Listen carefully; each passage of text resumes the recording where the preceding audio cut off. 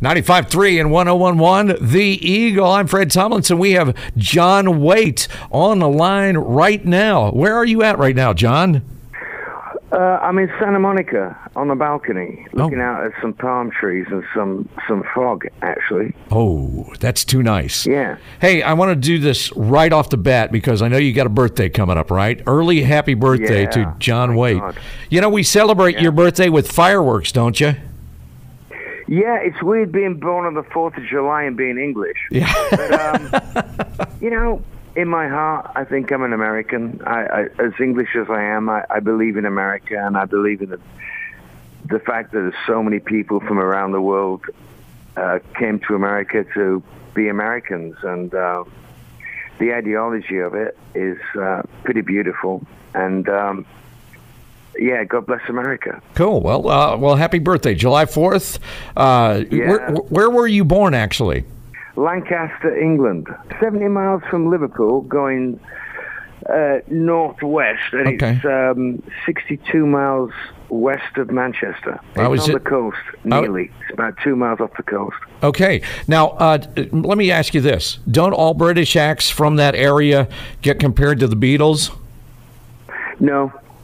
I mean, uh, it's a very, very musical part of Britain. Uh, the Northwest is just, if you're born in the Northwest, you've probably got a guitar in your hand or a, you're, you're looking at a piano. I mean, it's just, for some reason, a lot of Irish people came over and settled in the Northwest, and the Irish people have so much music in them. Um, it's just part of the world, you know, it's just part of what we do. That's fantastic. Now, uh, will we get a chance to hear any of the Babys or bad English songs Oh, yeah. that you sang lead No, no, on no. Saturday night? We run the gamut. All we, right. uh, we, you know, we we pile it on. We we have like, hey man, there's so many hits. Every time I think of you, head first. When I see you smile, um, missing you. In dreams, if you ever get lonely, back on my feet again. We have so many songs. and we love them all. The point is what to play and what not to play, Oh. and to try and make it interesting for people by throwing a few new things in there. But it's uh, it's a pretty um, two-fisted operation. We we really got the, you know, it's just great. We have a great time. Beautiful. And now, is it true that you were only planning on keeping the Babys name as the band name for only two weeks? Did I hear that? Yeah, we thought we you know we, we couldn't get signed at all, and um, we just couldn't get signed. So we made a video uh, of the band playing, and we called ourselves the Babys, thinking it would be like a really off the wall name, and that somebody would come down and think we're like teen idols, and and they did, which was sort of it. It was kind of wonderful because it backfired on us. And it was kind of like the first idea you have is the best. But in our case, it was kind of like, wow. I mean, it just really pushed us to the front of the line. But um, yeah, we were going to just change it to the, you know, whatever we're going to be. But um, once it got rolling, it was just huge. Right. What now? Um, I, I heard something about uh, you guys were playing in Cincinnati the day after John Lennon uh, was shot, and someone got up Yeah. on stage and and uh, knocked you down. No, no, no, no. I, I, I spun around. Okay. Uh, when John got John Lennon got shot, I think everybody was just uh, in a daze. I think we are all. I was very upset. I mean, everybody was upset. It's not. It's like saying the sky's blue. It was just unimaginable that somebody could do that to John Lennon, especially with his uh, philosophy about trying to bring the world together and give peace a chance, and his outspoken views on everything that was right, you know. And somebody shot him. All right. Now, I was just walking around kicking things and I was so angry it was unbelievable, as everybody was. And I think I was on stage performing these songs. I was just just about to explode, really. I can't really explain it. But um, I spun around and my knee didn't go with me. And uh, I kind of tore all the cartilage in my knee and went down like a, a sack of coal, as we say in England. right. And that was it. And we went on to Akron the next night and played there. But I got carried off stage. I was in so much pain, I just couldn't perform. Wow. Just, that was the end. But Did I? Yeah. to go out. That's what I understand. Matt. Akron was the last uh, the last live that you guys did, right?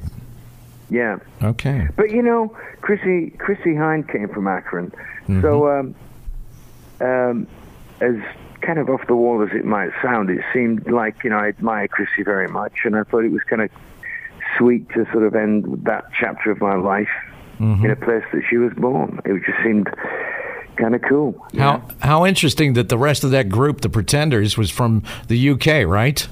Yeah, weird. I, you know, incredibly weird. Yeah.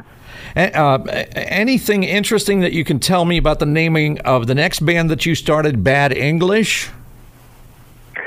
No, not really. Uh, I think we're playing pool, and you put English on a ball, and uh, we're bad, and there you go. You know, it wasn't a big deal. It was just like a name. We couldn't find anything. You know. Right. Well, that, that, that's that's interesting because I've wondered for weeks what that was. Thought I'd ask you. Uh, Well, I'm English, and I'm bad. hey, so when uh, when I see you smile went to number one, and uh, you went top five with the uh, Price of Love. How did that feel? Yeah. Going to the top. well, you know, it wasn't the first time, and uh, but you're always grateful when you make these records. You hope that people are going to respond, and um, you're speaking from the heart. You know, so you hope people listen from the heart.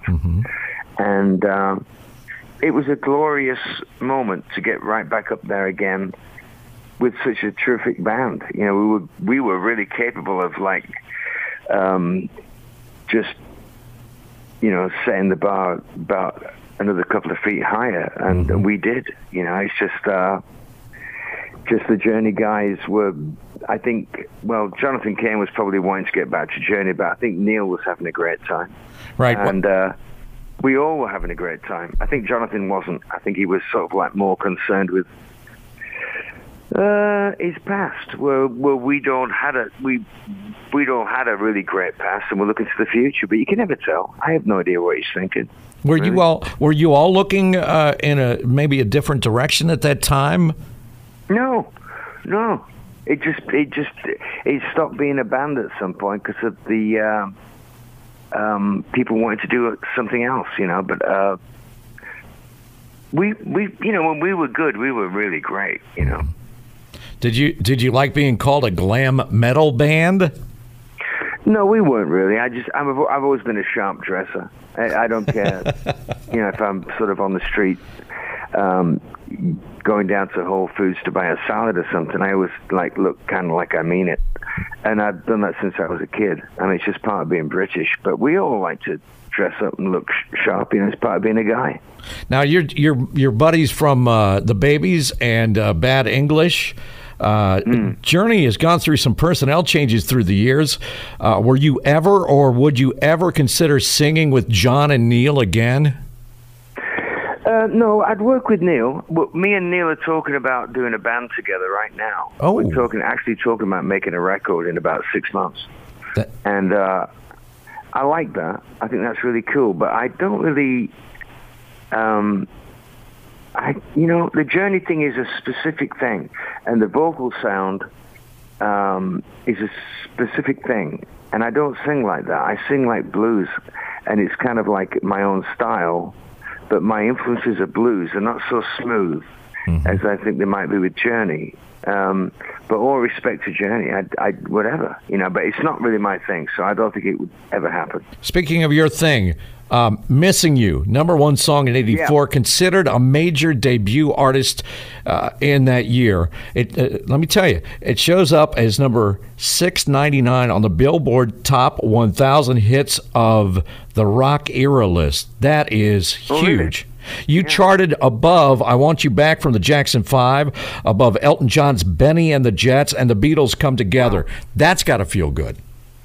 Wow, I didn't know that. I didn't know that. Um, but I'm very touched. It took about 10 minutes to write it. I made the thing up on the spot. It, it just, I sang the whole, it was sung over somebody else's changes in a recording studio, uh, a home studio, and I just made the whole thing up. And it took about 10 minutes. Uh, the whole first verse, chorus was, was one piece. It just came out. Uh, I was married at the time. I was trying to get home to England. I was trying to finish the record, and I was feeling it. I was worn out and tired and anxious, and I missed New York, which was like kind of weird because it wasn't England. But I missed all the things that I'd become like a New Yorker, and I think some of the song is really about New York. But um, those songs that happen like that, you you cannot contrive them. You cannot sit down and say, right, we're going to write a hit. It doesn't work like that. You close your eyes, and it's like a Zen thing, and you step forward. If it's a rock song or a heavy metal song or a ballad, country song, blues song, that's how you write those songs and that's how that was written. It was completely natural. And I think everybody uh, thinks they have their own meaning for a song like "Missing You." Am I right? Do people walk up yeah, to you and talk about, about, that? Denial. It's about trying to get through. At that point in my life, I was trying to get through the next two weeks to finish the record and get home, and. Uh, it was about denial. It's trying to stay tough. You know, guys try and hang tough, and they always make fools of themselves. You know, as I sang it, I realized, you know, what I was actually feeling. That's interesting. Now, everyone these days kind of looks at the set list on uh, on the internet. When you're up on Yeah. stage and you're doing your own stuff your way, do you ever have moods where you feel like uh, taking the show in a different direction? Oh, absolutely. If somebody shouts out something like for the more obscure songs, I have a lot of fun and just the bands, the ba- we just go into it. You know, I mean, we have so many songs. You know, there's the hits that people know that, that are million sellers, and then there's these this other songs behind that that are like the real kind of McCoy. And if you can stir those into the hits, see if we can do it. You know. Right. Any any favorite songs that you personally have that you like to share that weren't necessarily hits that we should maybe Uh, look for? Downtown off the Temple Bar record is a, is a huge song for me, and New York City Girl. Um, if you ever get lonely, from the Rough and Tumble album, they're songs that are like just. I mean, man, that's on the money, you know. I mean, I got a new acoustic record coming out in about uh, six weeks Oh, you do. and it's some new versions of like you know missing you and you know all the songs you'd expect but there's also the really dark songs mixed in there too and when i listened i only listened to it once i listened to it once and i couldn't take it i didn't know who'd written it it was like uh it's what i do best and yet when i heard it in sequence some songs the masters from like 20 years ago and then new songs cut with the same guitar player Shane Fontayne, he came into the studio and worked with me. But that was like my biography. It was like autobiography. And it's called Wooden Heart, and it's out in six weeks. There's Wooden Heart Volume 2 on the internet right now on, on iTunes. You can get that. But that's what we're doing at the moment. I mean, the gig we're going to play for you next week is, is a full-on rock show with, you know, everything thrown in. But we're on tour doing this uh, thing with two acoustic guitars, electric bass, and a small drum kit. And it's like an evening with John Waite. And you can ask questions, and I'll play any song you come up with, and I'll play Big Bill Broonzy songs or Howlin' Wolf or Bob Dylan mixed into it as well. It's a very interesting sort of way to go. So I live, I live in two worlds really, like a hard rock, melodic kind of rock world, and then the unplugged thing. Uh, so I couldn't be happier, really. I'm having a great time at the moment. So you have uh, do you still do you still play bass and sing? No, um, uh, the reason I quit was uh, I couldn't backphrase like I wanted to, Okay. and really just uh, pick my moments to come in. My phrasing got like like um, Willie Nelson. You know, Willie Nelson starts the phrase off before the bar even arrives, and the bar can go, and he's not sung that phrase yet. I mean, it's, like- his phrasing is nuts. But I'm the same way kind of thing. It's a blues phrasing that's behind the beat. So I wanted to concentrate on that, and I thought I'd be a better singer if I did. Having said that, I just heard some live stuff from uh, uh, the early baby stuff, and I can't believe that I was actually that in the moment. But um, I always have been kind of in the moment. That's interesting. Now, uh, okay, so you've got this uh, this one coming out uh, in about six weeks, mostly acoustical, and then uh, the uh, the Neil thing that you're doing. Do, do, are you coming up with a band name for that, or is it just uh, No, no, I have no idea what it's called. Okay. I mean, uh, me and Neil are just batting ideas about and talking about how to go in real quick and do it. I don't want to spend like two months writing. I think me and Neil could probably write a whole record in about a week. And uh, seriously, uh, we could. I mean, the one thing about Neil that's really tremendous is that he's all about the music, and you you you sing a line of a line of something, and he just comes in with something. I mean, he's completely spontaneous, and so am I. And we haven't worked together for 20 years, and uh, I think it would be fabulous to uh, just hit it and record it. You know, I mean, just like a like a session, like 12 songs recorded live in a warehouse somewhere. You know. That should be interesting. Now, Neil, just a, what a week or two ago, said that he was just thinking about uh, doing stuff with uh, some of the guys that he hadn't seen or talked to in a long time that he had played with. So uh, I, I, think he's getting this thing underway with you, isn't he? I have no idea. I mean, um, Neil's connected, man, and he's like he's in Santana, and he's and he's he loves to play, right? And he keeps putting records out. Um, I mean, he's, he's music. I mean, he's like a walking piece of music. Well, that's interesting. Now, John, we're all looking forward to the show on Saturday night at Miami Valley Gaming. I understand you go on stage at 9 o'clock, but a whole bunch of bands before you. Thank you for taking the time to chat with us here on the Eagle. And uh, yeah, you uh, we'll see you on uh, Saturday night. How's that sound? Well, yeah, I'll um, I'll make sure I look sharp. All right. and I and John, I'll try to look sharp myself. How's that sound? well, why don't you why don't you come back and say hello? I will. I will. I promise you, I will. Thank you very much, John Waite. Yeah, God bless you. Thanks so much. I enjoyed the conversation. And God uh, bless you. Enjoy the balcony and uh, and the view there. I am. I'm enjoying it as we speak. All right. Thank you very much.